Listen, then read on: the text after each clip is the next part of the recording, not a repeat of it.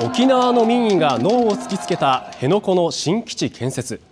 今日尾長知事は建設に関する埋め立て承認を取り消しました。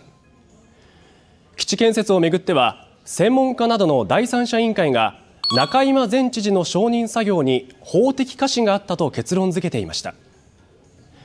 これを受けて尾長知事は承認を取り消し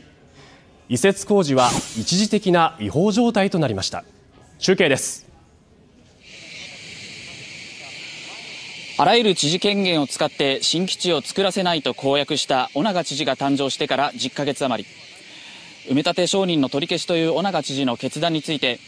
多くの県民から支持の声が上がっています、申し上げます、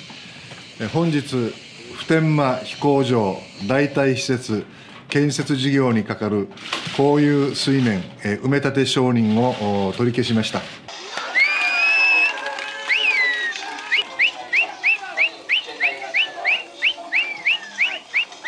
もう、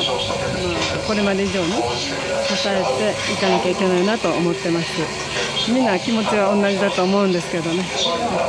私たちもまたあの沖縄の人の自立のためにもね小長知事は会見の中で、沖縄が相手にしているのは、大きな権力を握っている日米両政府だと指摘しました。そして今回のことで、地方自治の在り方、日本の将来の在り方、そして民主主義について国民全体で考えていければと話していました。尾長知事の判断に対して、国は国土交通省に対し、今日にも取り消しを不服とする審査請求と執行停止を求めるとみられ、今後、県と国が法廷闘争も視野に正面から対立することになります。